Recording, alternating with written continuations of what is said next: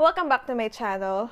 So, for today's video, eh, just for fun lang, trip, trip lang, I will try to copy the singing style of Blackpink. Yes, disclaimer, I'm not a professional singer, hindi ako expert. I'm not trying to mock Blackpink, hindi ko pinaglalaroan. Yung mga ibang parts dito sa gagawin ko, medyo may exaggeration. I'm not sure kung tama yung mga ginagawa ko, pero yun nga, just for fun lang to. Tatry ko lang gayahin yung singing style nila based on my observation. This is inspired by the YouTuber Chudo or Chuder, pero Chudo yung pronunciation niya. Sobrang nakakatuwa siya, nakakaaliw kasi gumagawa siya ng impressions ng singer. Nakakatuwa, ang galing. Tinry ko gayahin yung makeup ni Jenny today. Ibang Jenny ata yung nagaya ko. ang layo kasi. Yung nunal lang yung nagaya. So first, ang una natin gagayahin ay si Jenny. Napansin ko, sa pagkanta niya, buo yung boses niya, tas very, very tight. Okay, di ko magagaya yung boses niya, sis. Try ko lang yung style. Muna just sa padagal tugtog Ang hirap naman. yung pronunciation ko pala hindi perfect kasi hindi naman ako Korean. So again, nabubulol ako. Wait nga. Badagal tul ko jojiyo. Badago tu, badagal tul ko jojiyo. Oran just muna just sa Padagal ko kaji. Fast forward tayo dun sa part niya sa may chorus. So, yung lyrics niya is, ha, how you like that. Pero hindi niya ganon pronounce talaga. Nagiging, ha, how you like that.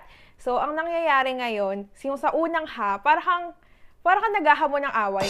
Kasi minsan pag kumakanta ka rin, kailangan yung facial expression mo sumasabay. Mas nakukuha ng boses pag may expression, facial emotions. Okay, so sa unang ha, uh, parang poker face. Ha! Ha! Tapos, magkakaroon ng attitude sa how you like.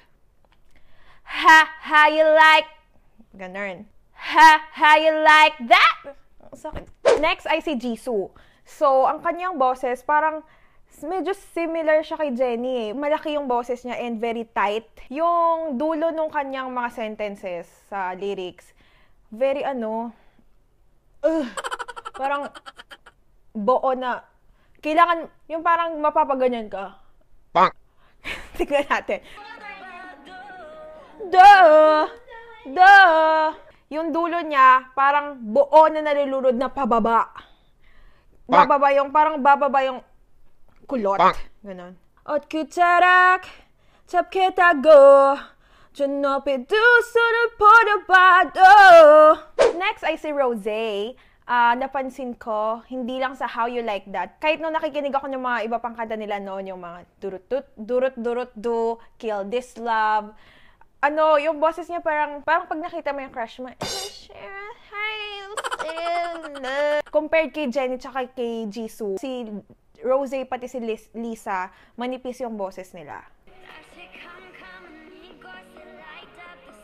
I-try natin, pipiin talaga natin yung boses natin para kahit papano medyo umimpis. Dashi kam kam hanigo she light up the sky Ni duno na boom ya kiss you bye Yung lyrics nito, I'll kiss you goodbye talaga. Pero yung sa kanya, maarte. Parang, I'll kiss you bye.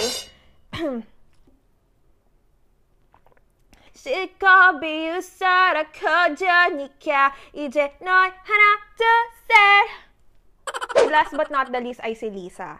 So alam-laman natin na nagra-rap siya. Silang dalawa ni Jenny sa group. Uh, they're the rappers. Hindi naman ako rapper, so hindi ko talaga siya magagaya. As in, minsan pag tinatry ko sa karaoke, hindi talaga.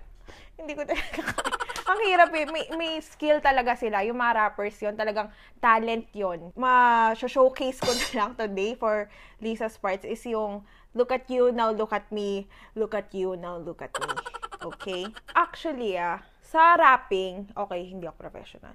Parang pag sa observations ko lang, kailangan may attitude ka habang nagra-rap. Kailangan yung yung katawan mo, yung mukha mo. Tsaka, pag nagra-rap ka, hindi mo kailangan magmadali. Pag, kunyari, bago yung kanta, tas ikakaraoke ko, yung natataranta ka pag rap na part na parang pero hindi ganun pala. Kailangan mo sundan yung flow ng beat. Okay, for example, ano ba yung sinasabi ko? Kunyari sa super bass. Pag normal mo kakantahin yun, yung parang nagmamadali, parang This one's for the boys at the boom system tap down. Iniisip mo yung pronunciation ng bawat word, yung pagkakasunod-sunod. Pero kung gagawin mo yung nasa flow ka lang ng beat, mas maganda yung tunog niya sa tenga. Parang, this one is for the boys at the boom system tap down AC with a cool... Ganar. Hindi ako rapper ah. Ganun lang. Parang ganun lang observation ko. Okay, so tingnan mo natin kay Lisa. Nung una ko kinakanta to sa karaoke, ang ginagawa ko is, Look at you, now look at me. Look at you! Pero mali yun nung pinakinggan ko na yung mismong audio nila. Yung you, kailangan talaga nakaganan yung bibig mo. You. Lagyan natin ng attitude. Let's try this. Oh my gosh. Huwag yung kaibash, guys. I'm just, just for fun lang to. Now, now, now, look at you, now look at me. Look at you, now look at me. Look at you, now look at me. Yung buong wrinkles mo sa mukha talagang gumagana eh. How you like that? Medyo magsa-soften pala yung how sa how you like that. Kung habang nanonood kayo nito at or kung natapos man na kayo manood ng mga pinagawa kong kanta, I'm sure maraming fail. I'm sure hindi ko naman talaga nagaya. Pero kung may fail, kung parang may negative reaction kayo, huwag yun na lang i-comment. sa inyo na lang yun para hindi ko na rin alam yon. So, yes, yun lang naman. This is just a short video. That's it. Bada bim bada boom boom boom. How you like that?